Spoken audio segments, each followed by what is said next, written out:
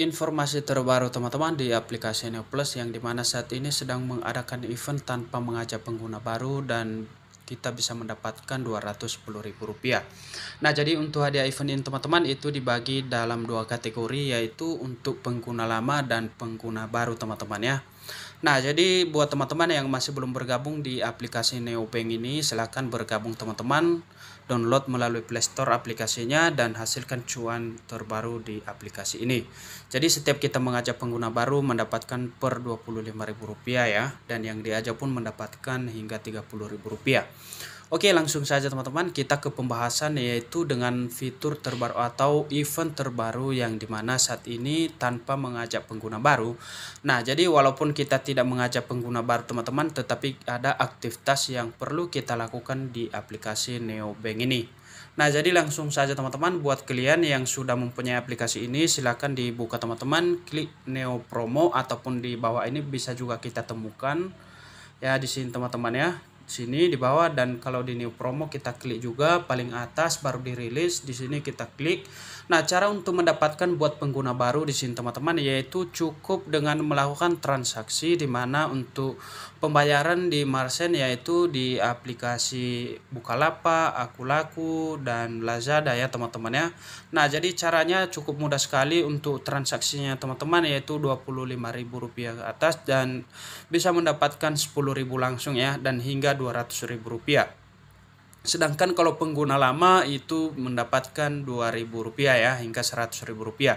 Nah, jadi ini dikhususkan untuk pengguna baru yang lebih tinggi nominal hadiahnya ya teman-teman ya. Di mana pada aplikasi Neobank ini yang masih belum pernah uh, mendaftar, kalau misalkan kalian mendaftar berarti kita bisa mendapatkan hingga Rp210.000. Nah, otomatis kalau kita sudah melakukan transaksi kita mendapatkan Rp10.000. Nah, di sini teman-teman tata cara untuk promo ini sudah dimulai juga di tanggal 8 ya.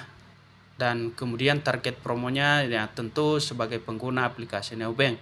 Nah, di sini teman-teman untuk promo itu pengguna yang melakukan pembayaran virtual pertama itu 25.000 akan mendapatkan cashback dengan nominal acak dari 10.000 hingga 200.000 rupiah. Nah, seperti yang saya bilang tadi teman-teman, target poin besar atau hadiah besar itu adalah pengguna baru ya yang tidak pernah melakukan pembayaran dan ketika dia melakukan pembayaran sekali maka akan mendapatkan Rp10.000. Nah, pengguna lama Neobank yang melakukan pembayaran virtual akun mendapatkan uh, eh, 2000 ya teman-teman ya. dengan cara melakukan transaksi minimal 25.000 akan mendapat cashback nominal acak 2000 ya hingga Rp100.000. Setiap pengguna mempunyai kesempatan untuk mengikuti promo ya jadi buat teman-teman semua yang di mana yang sudah mempunyai aplikasi Neobank silahkan teman-teman lakukan aktivitas ini. Dan banyak beberapa keuntungan juga yang kita dapatkan di aplikasi Neobank ini buat pengguna yang masih belum bergabung. Di sini bisa kita menggunakan beberapa fitur teman-teman. Kalau misalkan kita melakukan uh, transaksi deposito ataupun menabung dan itu kita akan mendapatkan suku bunga yang lebih tinggi teman-teman ya kalau menabung kita mendapatkan suku bunga itu rata-rata 6,5%.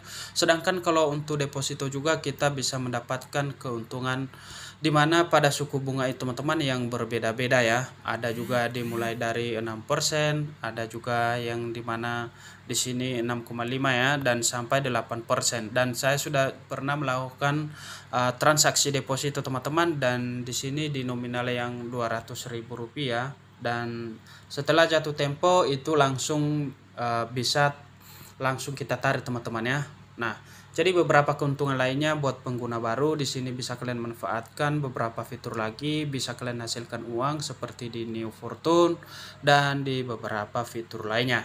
Nah, Oke teman-teman kira-kira seperti itu saja informasi terbaru di aplikasi Neobank atau Neoplus yang di mana saat ini sedang dirilis event terbaru yang di mana bisa kita mendapatkan Rp210.000 Oke kira-kira bagi teman-teman sampai jumpa pada video berikutnya